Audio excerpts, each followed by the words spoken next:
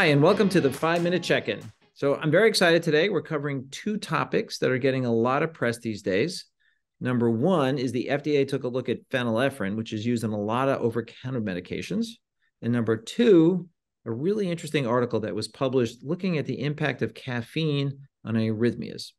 And to help me in that conversation today, very happy to have Dr. Kavita Chawla with me who is a faculty at the Virginia Mason Franciscan Training Program and a busy, busy primary care physician. Kavita, thank you for joining us. Thanks so much for having me, Tom. So, why don't we jump right in? I thought this was so interesting that the FDA decided to take a look at phenylephrine, which, as we all know, is used in a lot of the over the counter medications. For me, I wasn't surprised that it doesn't work because you know, I, I have no assumptions that many of the over-counter medications have any real evidence behind them. What was really surprising to me is that the FDA took a look. So, you know, you're a busy practicing physician, you're an educator. You know, tell me about, uh, you know, what what does this mean? Yeah, so it's really interesting, uh, right, that they took on phenylephrine of all the over-the-counter substances, and um, this is not news for most practicing providers, right? Like, um, even if you look at the FDA um, data, they initially received comments to reconsider phenylephrine more than a decade ago. And so, yeah, so what the panel is considering is banning this ingredient, phenylephrine, which is found in many over the counter cold medicines. Um, some popular brands that um, patients know are the Sudafed PE, NyQuil, Mucinex, Benadryl cold and flu. So, not very surprising. I guess a lot of people. So, I guess part of the question would be, you know, what are we going to have our physicians discuss with their patients around all these things clean out your cabinet toss it away um, or and and what what might we steer people to use for you know more impactful over the counter medications yeah thank goodness we have better options so um, we it'll be a few decisions before a final decision is made by the FDA, um, but odds are phenylephrine is on its way out. Um, but calling out a few things. So this only applies to oral phenylephrine, not the nasal spray phenylephrine, right? Um, and note that FDA is just saying that phenylephrine is not effective, not that it's dangerous. So patients don't need to grab it and throw it out, right? They're, right, right, right. I think it's a very good point. Yeah. Yeah, it's usually part of certain combinations. So like there's probably Tylenol or something else in there that'll probably help them feel a little bit better.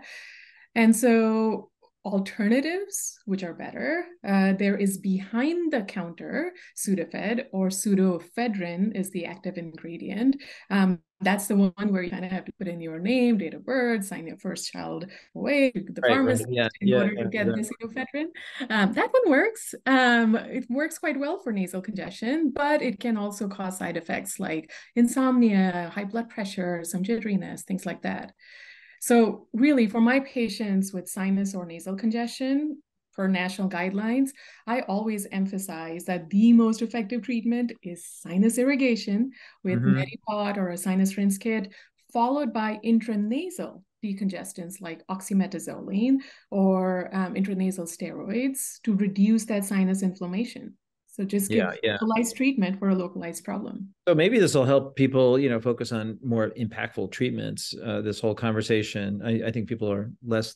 They don't enjoy the, you know, this all the sprays that go up there. But I think it is the better way to go if you're really going to take a medication. So let let's switch. Um, the other publication that came out, and it was called the CRAVE: Coffee in Real Time Atrial and Ventricular Ectopy. Um, and you know, cardiology always knows how to make a good acronym when they do a study. Um, you know, fascinating study uh, and the way they designed the trial. So we'll talk a little bit about that and maybe a little bit about, well, you know, what are the implications of this? It's a small trial, but interesting trial. So tell us a little bit about this trial. Sure, exactly like you said, small study, 100 participants. It's a study out of UCSF and it was funded by NIH, so no coffee uh, hawkers backing the study. no coffee influence there, yeah. it's um it's interesting because it's a case crossover study. So simplistically, that means that each of the participants served as their own control. Um, it was also a short study, so it was just over 14 days. Um, most participants were relatively young. More than 80% were under the age of 50, um, and no um, cardiac arrhythmias, no cardiac issues. Those were all exclusionary criteria. Pretty healthy group they looked at, really. Exactly. Yeah, yeah. yeah. Um, they did, uh, it was a relatively diverse population. So 51% were women, 51% were non white populations. So that's good. Um, and so these 100 participants were randomly assigned to consume caffeinated coffee or no coffee uh, during two day periods. So mm. effectively over a 14 day interval, you had seven cycles of being on coffee or being off coffee. Um, but what's particularly remarkable about the design of this study is the use of technology. It was so fun to go through this. So their primary outcome was the mean number of premature atrial contractions or PACs every 24 hours. And so the way they measured that is each participant was fitted with a cardiac monitor, a Zio patch in this case, um, to continuously monitor their heart rhythm in that 14 day interval. And every time they consumed coffee, they were to press a button on the monitor to kind of timestamp that coffee consumption. Um, secondary outcomes were PVCs or premature ventricular contractions, again measured through the Zio patch. Each participant got a wearable device to measure their sleep and their step count. Um, they all got swabbed for DNA to assess whether they were hmm. fast, intermediate, or slow caffeine metabolizers. All kinds. Love, I love that whole. That's a whole new world of, of thought on caffeine. Are you a fast metabolizer or not? Uh, amazing, it? really.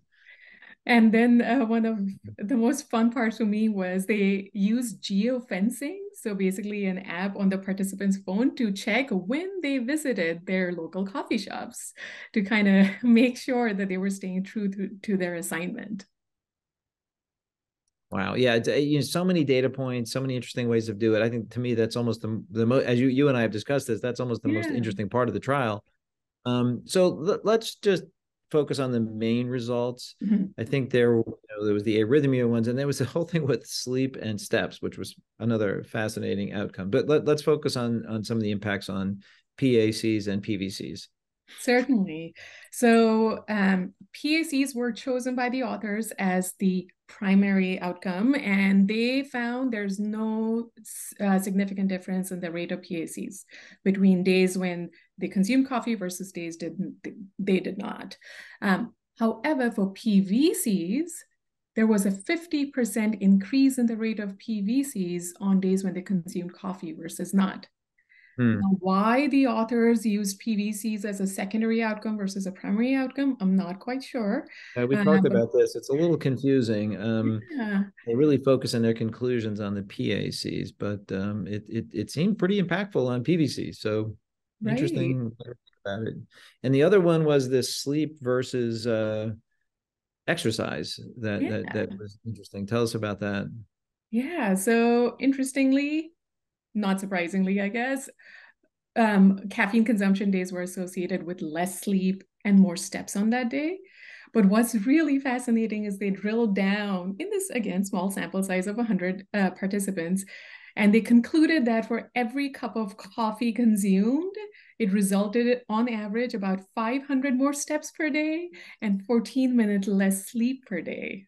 So you get 500 steps, but you lose 15 minutes sleep. It's it was just sort of an interesting. I've never yeah. quite felt like that before. So, so what would be your take home on this study for practical purposes? They may maybe none. They maybe just future research has to happen, or any any final take homes. Yeah. So I, I think to your point, right? How generalizable is this study? Because it is young, healthy individuals. It's a small study. Um, so maybe not terribly so, but I would take away the fact that, you know, a 50% increase in PVCs, that's remarkable. Mm-hmm. And also so interesting that um, those who were fast metabolizers tended to get more PVCs versus those who were slow metabolizers tended to have more trouble with sleep. So don't compare your caffeine uh, tolerance with someone else. Maybe just enjoy a little cup of chai instead, and it's okay not to have coffee. Exactly. Well, listen, thanks so much, Dr. Chawla, for joining us and, and, and reviewing these two very interesting, uh, you know, trends that are playing out in the media very much. So thank you Thanks very so much. much for having me. Yeah. And thank you for all for joining me today. And I'll see you in two weeks at the next five minute check in.